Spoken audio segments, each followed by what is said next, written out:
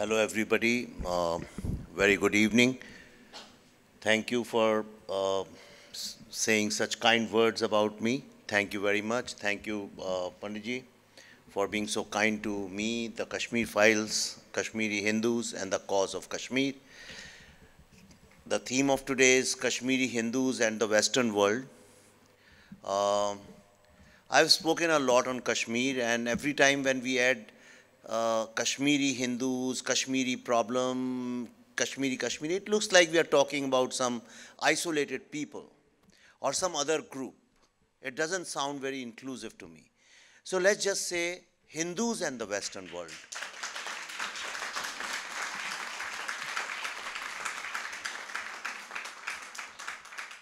Because when you say Hindus and the Western world, then we are talking in the right context.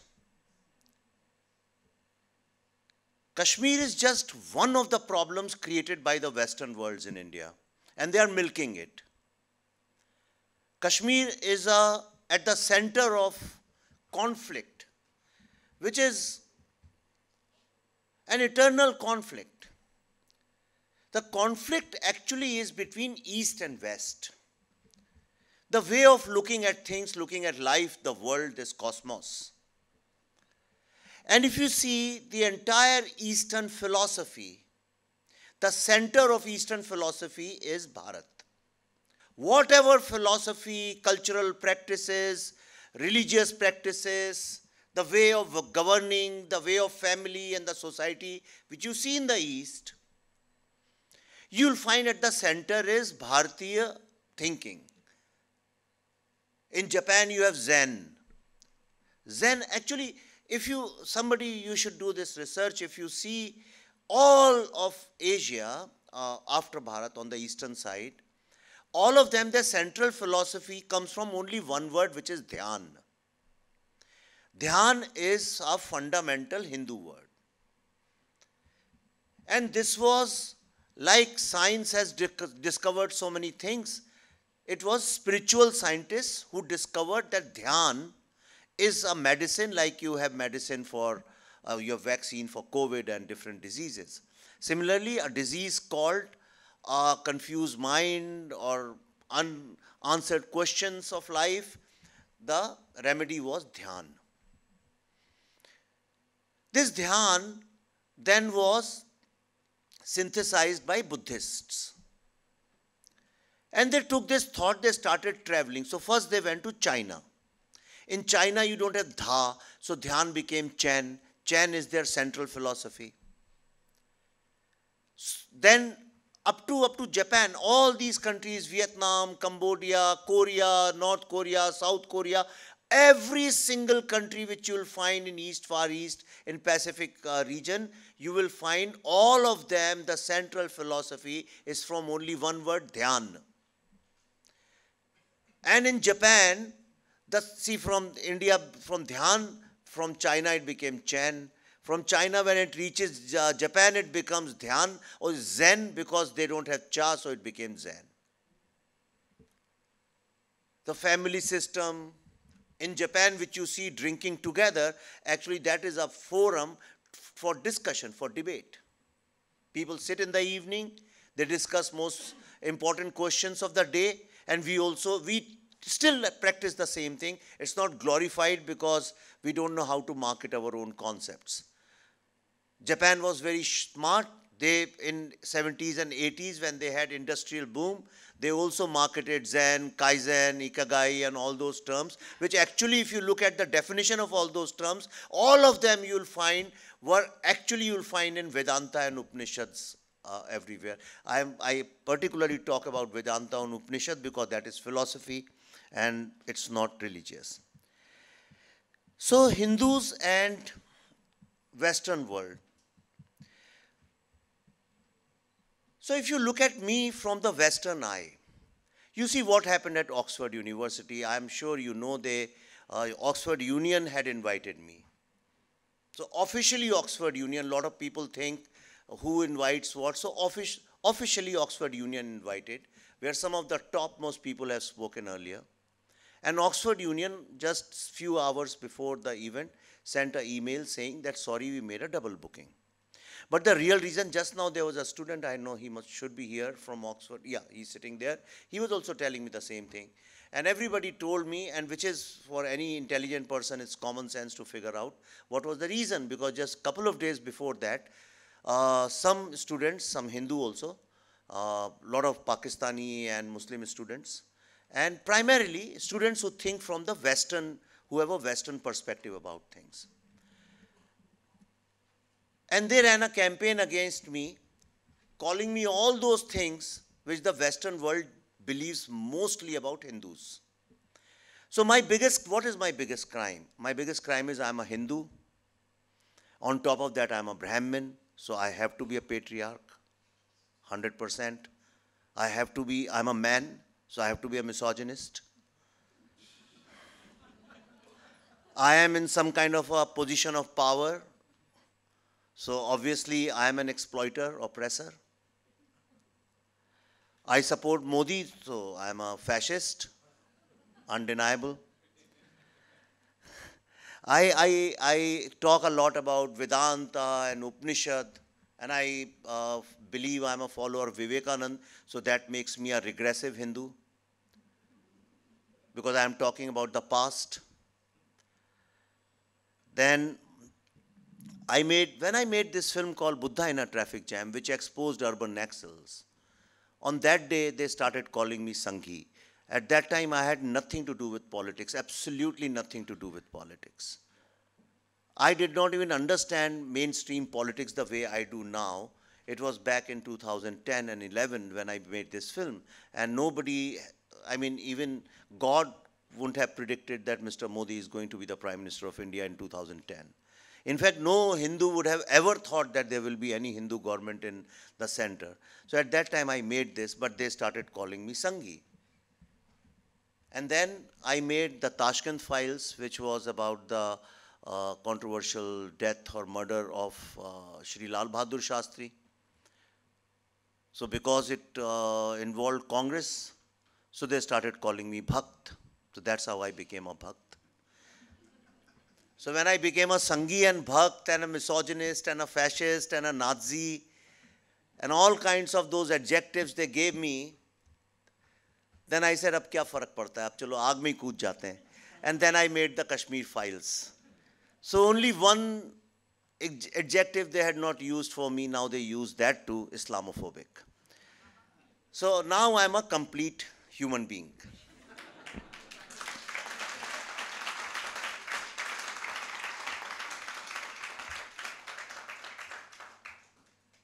This is the problem with the Western world when they look at us. Indians look very simple, but all simple things are very complex. In fact, complexity is the most simple thing. The problem with the West, and this I am talking very openly in a very candid manner, and you can also treat it as an academic, it's coming after many, many years of my personal research. The, the fundamental difference between the East and the West is that in the East, we find simple explanations for complex things. You say Vasudev Kutumbakam. It's a very complex concept. Don't go by how politicians use it. And I see it's become fashionable. Everybody uses it. We Hindu means Vasudev Kam. It's not so simple. It's a very, very complex concept. But it has been made very simple for you. And that's why we look very simple people. With the West, the problem is they make even simplest of the things sound and look very complex. And it is not, if you ask somebody, where is the toilet? That's it. Toilet is outside here on your left. They will say, get down three steps, take a left, then take a right, open the door, then there will be another door. Open that door, there will be on the left, and on the right side is the door. It actually happened with me. I was in USA, we were looking for a location, and I went to see a house, you know, it was an apartment. And uh, so I asked for the toilet, and the way she explained it to me, I thought it must be a 10 bedroom or 12 bedroom house. It turned out to be a studio apartment, one bedroom and one living room and one bathroom. It is true, they like to use jargons. Every year they want to coin new terms. When your life is hollow, you start depending on jargon. You need definition for everything, you need explanation for everything. We don't do that. We take things for granted. There are two different worlds. You will see in India, nobody will ever tell you, don't take me for granted. A typical Hindu, Indian will never, even Muslim won't tell you, even any, it doesn't matter what is your religion, but in India, nobody will, you take me, in fact, people will feel bad if you don't take them for granted. if there is a shadi, and you don't give a job to your third and fourth cousin, he'll feel bad because you have not taken him for granted. But in the West, you can't even expect your children or your parents to do something for you without asking for it. And that too if they are free at a convenient time. If you see historically, the West has always recorded everything, even if it is garbage, it is bullshit. They have, sorry for unparliament. I mean, they have recorded every single thing as if it is the ultimate truth. See the difference. The difference is all the texts, all Hindu texts, initial ones, before, before Mughals came in, till that time, are mostly oral even Mahabharata, Upanishad, Veda, entire Vedanta, Puran, these are all Shrutis. They are, you have, you hear it, you remember it, you pass it on, pass it on to the next generation. If next generation feel there is a reason to improvise somewhere, to change something, refine it, you know, modify it, upgrade it, they can do it. And which is why you see the original Mahabharata and the Mahabharata you hear or read today are two different things. Same with Ramayana. Same with so many texts, because there was a scope to improvise as you live your life. But here, everything is written down except for the Constitution. Am I right? So everything is catalogued. So there is no scope for human improvisation on a day to day basis. This is a fundamental difference in our approaches toward things. And I'm not saying what is right and wrong. We need both. Actually, in a good real world, you need both. You need vision, philosophical vision. At the same time, you need technique. You need both. But the problem is, because they were so methodical about the processes and the methods, they also invented guns, arms, ammunition, anything which helps you establish your power, physical power, trust me. And in the East, you will never find any history of invading others. Invasions have happened basically all over the world, not India. Invasions, coloni colonizing uh, nations, all these things have happened basically from two kinds of people the monarchs, kings, or barbarians. And today, both of them are in majority if you speak globally. People who colonized their faith, the Christian faith, and the people who invaded like barbarians, historically speaking, the Islamic faith. They are in majority. And Hindus are globally in a minority. This is how I see the difference. But how the, this is the truth, this is the reality. If you talk about the globalized world, Hindus are in minority. We are 15, 16% of the world population. Whereas the Christians and Islam, Islamic people, they are in huge, huge, huge majority. And they are very fast, very, very rapidly expanding religions also. Whereas Hinduism is a stagnant religion. If you see the last 10, 15 years, it's not increasing in the global percentage. In fact, it's reducing slowly. But the West always blames India of majority and minority. They are always saying that India is basically is a nation of majorities which is Hindus and minority which is Muslims. But recently, few days ago, what did you experience? Are the Muslims in minority in India? Is it just an Indian matter? Or was it a global force which made the strongest party ever, the most powerful government ever, to say sorry and sack their own spokesperson? It was the global united power. Do you see what I'm talking about?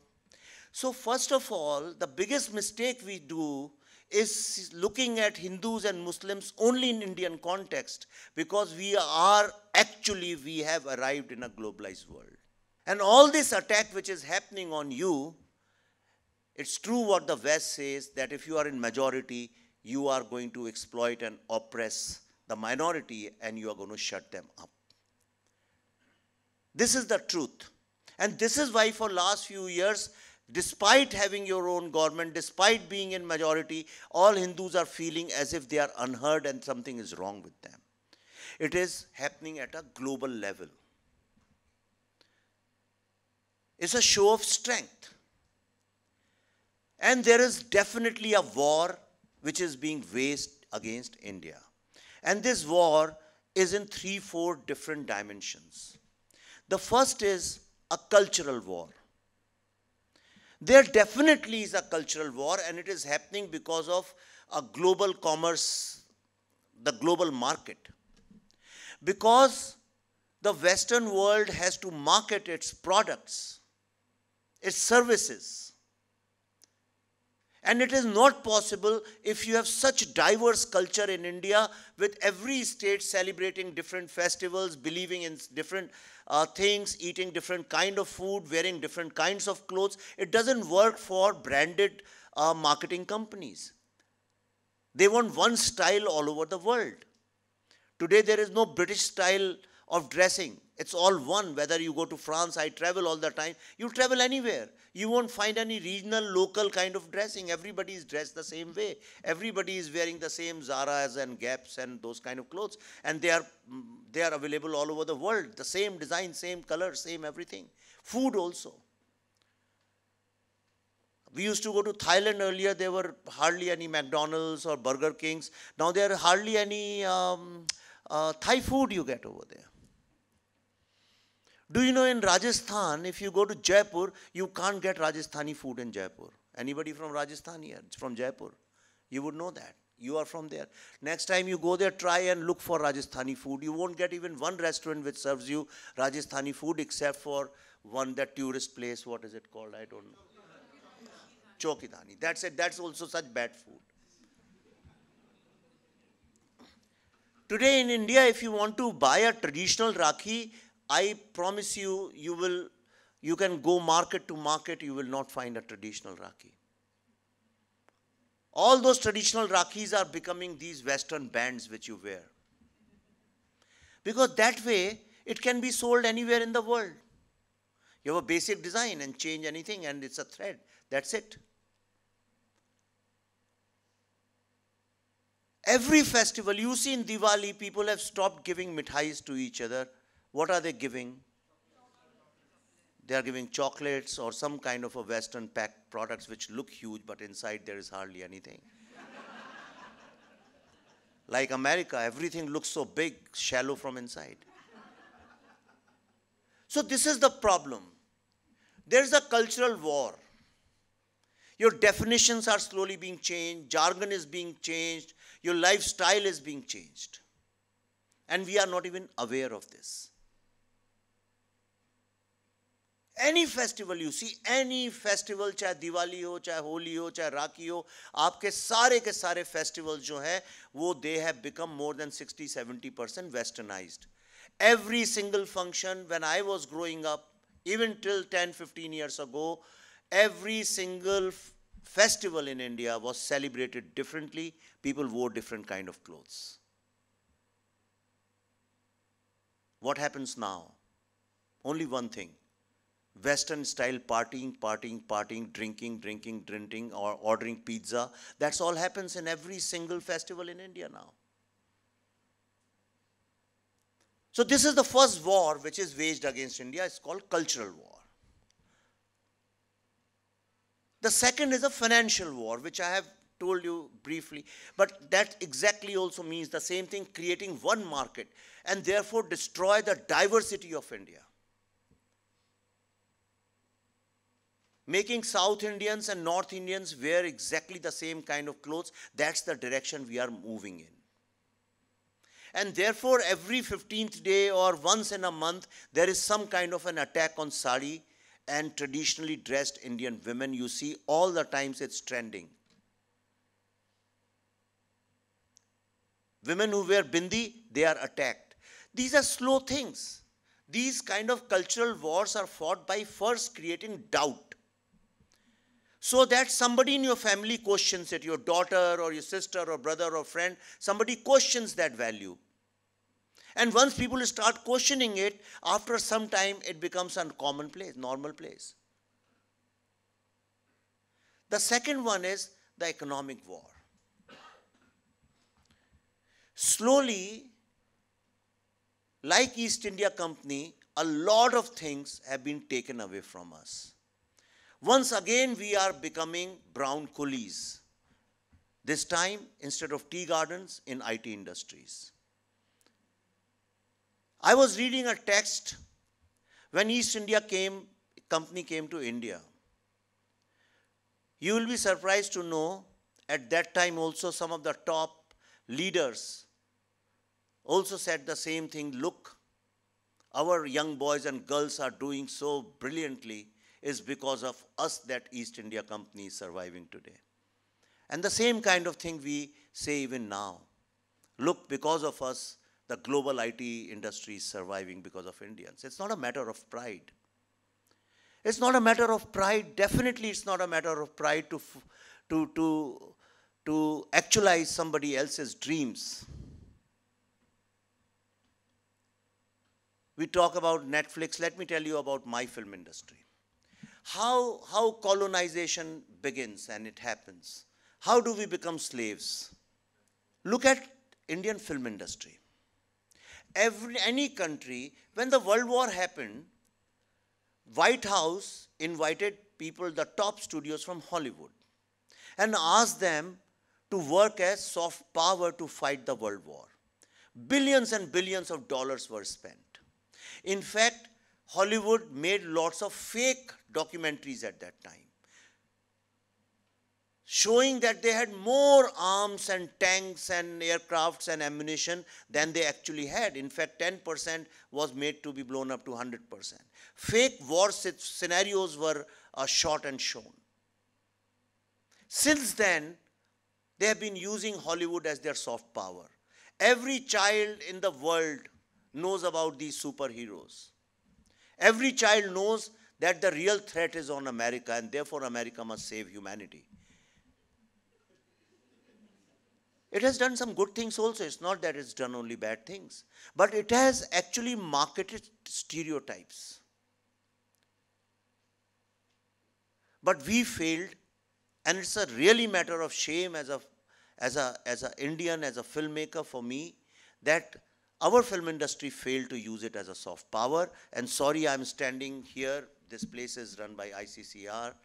Um, for 70 years, there was no representation of cinema in ICCR, Indian Council for Cultural Relations, because they thought that cinema is not culture. I am the first representative from cinema in the governing council of ICCR. That also when I raised a lot of voice. I, I created a lot of noise because I believed that films can be used as soft power for diplomacy, for uh, showing to showcasing your strengths to the world. So this cinema which you talk Bollywood, actually there is nothing called Bollywood. They are all, all, all brown coolies, you can say. And I'll tell you why. In fact, people in Bollywood even do, they don't know this. Today, when you make a feature film or you make an OTT series, eventually who owns the copyright of that? Who owns the IPR? Almost 99% of Indian content's IPR is being owned by three American companies Netflix, Amazon, and Disney. Now, Star, whatever it is called now. And we are not even aware of this. I spoke to the Ministry of Information and Broadcasting, two of them, not one. But they didn't care. Nobody, it doesn't matter to anyone. Now, 100 years later, when you will find that none of your content belongs to you and they manipulate the way content should be made, which already they are doing. And, and trust me, American film production studios are so smart, they are exceptionally brilliant. They know how to do this soft, psychedelic, uh, kind of subliminal kind of uh, narrative building so that the entire generation and this is what happened recently when Black Lives Matter happened. Almost every young Indian who was on Instagram was fighting for it. But today, when Nupur's life is under threat by the real barbarians, not even one young teenager stands up and writes about it. Because they believe, they are made to believe that what is happening with Nupur, all Hindus deserve this. All Hindus deserve to die. Only black people should live. This, they are, their minds are conditioned like this. I'm not comparing Hindus and blacks. But I'm trying to say is a problem, an issue which doesn't affect your life at all. No Indian has this black and white problem. It doesn't exist, but you feel empathy for them or you need validation from them and you don't even care when your own daughter or sister is now under threat. Her effigies are being hanged on the wire, you know. There is people are throwing stones all over the country. Children are being killed. People are in Ranchi something happened. And not one teenager is talking about it on Instagram as if it doesn't matter to you. So, do we have tourists living in India? No. We have contract bonded intellectual laborers living in your country who feel more for Western issues and Western problems than their own problems. Problem is right here in front of you. And the problem is created by none other than the Britain. What did they do when they divided India? They very strategically, very smartly left a ticking bomb in our country. They divided us between a constitutional India, constitutional state called India, and civilizational state called Bharat. They made a clear cut divide between these two. And since then, this constitutional state called India is trying to defeat Bharat at any cost. And it is not very difficult to identify who is from constitutional state of India and who is from civilizational state of Bharat. It is very easy. Anybody who talks in terms of secularism belongs to constitutional state of India.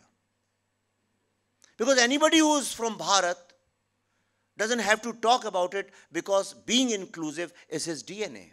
So this fight is between secular India versus inclusive Bharat. The constitutional state of India talks about being tolerant, that we should be tolerant. And that's why they say now we are not intolerant. We are today, we are tolerant, like it's a barometer, it's like the climate change they are every day noticing. Whereas this civilizational st state of Bharat, its DNA is total acceptance. If you're traveling in a train and you meet somebody and you eat some puri and aloo with them, and you create some kind of relationship after some time. I have grown up with so many people who were not my real mossies or chachas. They were just friends we met on, on a train. It's total acceptance. Now, Mishra FISI, we met 2018, I think. And since then, it's total acceptance. He says, Vivek ji, karna, I say yes. I say ye karna, he says yes. All of us, I've, I mean, all my relationships are based on total acceptance. This is the difference. And this is the war which is going on. And this India, the so called India, I'm not trying to divide India further, but I'm just trying to point out where the real problem lies. You have to understand that. And which is why you will see when these kids are throwing stones. And when they are calling iska sar se juda, uska sar se juda, isko kaat dalo, usko maar dalo, isko ye kar do, the blasphemy which everybody is throwing around, you see Bharat is really, really worried. But India is enjoying it. They are, they are so happy. They are celebrating it because it gives them it gives them an evidence to prove to their masters to the world that there indeed some kind of oppression taking place against minorities it's another thing that it's the cops and peaceful people who are being hurt by those stones. And which is why I say that today Hindus have a big challenge. I am not the kind who says ki Hindu khatre mein hai. Hindu खतरे में नहीं है। Hindu united नहीं है। And I am not saying you have to become united to make a army and wage a war against it all I am saying is once we are united we are such wonderful people we are full of strengths our strength I mean the day you realise your own strength I am telling you you won't need anything Only once, if you understand that if this world has to be saved from violence, barbarian behavior, and terrorism, the only answers lie in our philosophy, in our darshan. We have to now practice them. Nowhere it is written that only Shastra is enough. All our texts, be it Mahabharata or Ramayana, the two most sacred texts, they also say that it's only a combination of Shastra and Shastra which can make you win this great war of Dharma. And Shastra. And Shastra here do not mean arms. Shastra here means strategy. So you have wisdom of Shastra and you have strategy. You have tactics. And you use that strategy to win this. And in the end, I want to tell you where we are getting defeated. We are getting defeated because somewhere we have started mimicking their behavior. We are becoming reactionary. We need not react. We have to be proactive. We have to engage. Next time when you meet a Muslim boy or a girl, ask him only one thing. Say, I'm not asking you a religious question. I'm just asking you one thing. Are you with the terrorism or you are against terrorism. No what about just ask him. Let him also reflect. The problem is people have stopped asking them because the minute you ask somebody says you are Islamophobic, they are using Islamophobia to shut you up.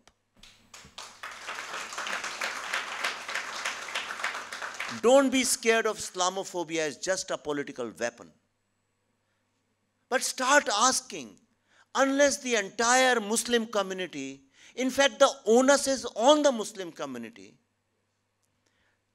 and the, especially the educated Muslims of India, to put their hand on their chest and ask themselves Do they stand up with the terrorism, terrorist organizations and terrorism, or they are against it? If they are against it, why don't they speak up?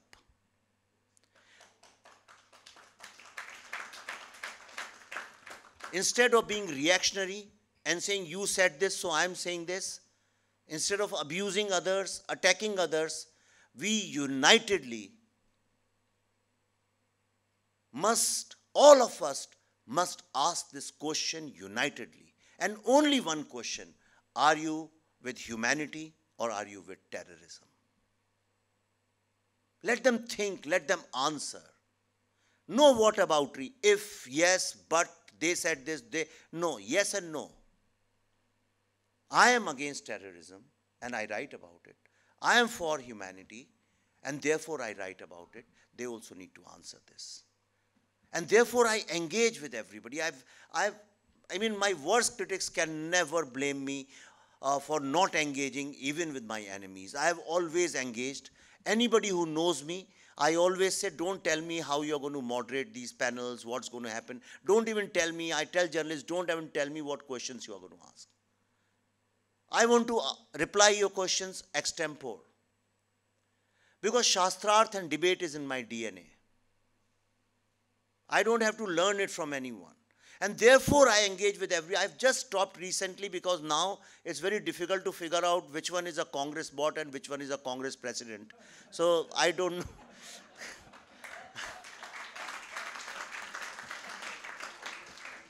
so I have recently stopped, but so this is one of the reasons instead of fighting, arguing with people, instead of being scared, we said the best thing is we specialize in art.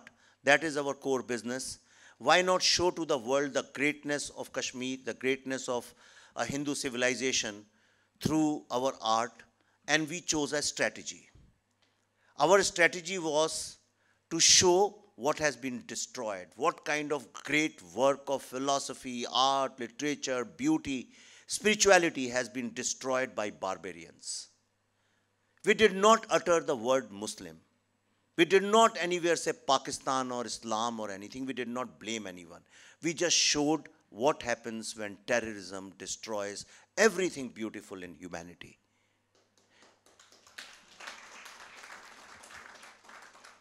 And now we have decided to make two more films. My next film, immediate film, which is going to be uh, coming in early uh, 2023, we thought we should not just bring bad news all the times, we should bring good news also. So it is on the great achievement of our uh, uh, scientists who had no resources, absolutely nothing, no time, and they were challenged with COVID. Then how these women who were pregnant women, looking after their in-laws, their parents, their children, and with a lot of difficulties, no air conditionings, no cars to drive around, who they couldn't even go back to their homes. They worked non-stop for so many months uh, in one place. And within seven months, they created our own vaccine called Covaxin. You know that.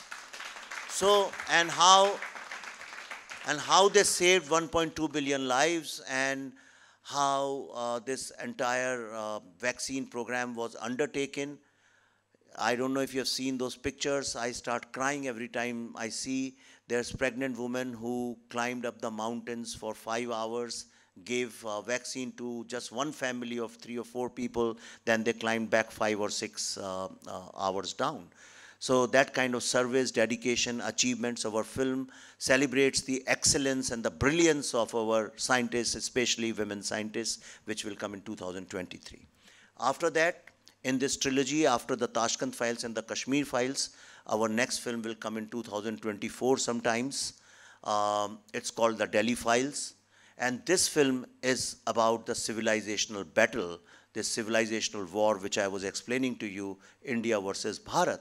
And this will uh, cover history of last 100 years from the day Khilafat movement began in India and now the Khilafat 2.0 as you are seeing in last few days, especially since Friday, Shaheen Bagh and all these things.